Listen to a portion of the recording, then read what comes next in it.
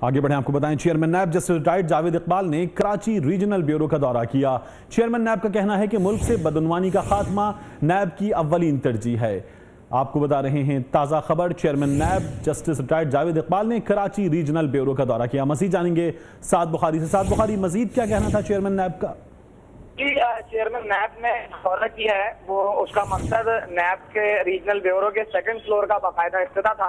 इफ्तः के मौके पर इफ्तः के चेयरमैन नैब ने गुफ्तु करते हुए अपने पैगाम में कहा कि बदनवानी का खात्मा नैब की अवलीन तरजीह है। नैब शवायद पर बिला तफरीक फराइज पर अंजाम दे रहा है और कार्रवाइयों का सिलसिला अभी जारी है। बदनवानी के केसेस की जड़ें काटना होगी और जिस पर काम कर रहे हैं। उनका कहना था एक करप्शन फ्री पाकिस्तान बहुत शुक्रिया अपडेट्स के लिए आपका।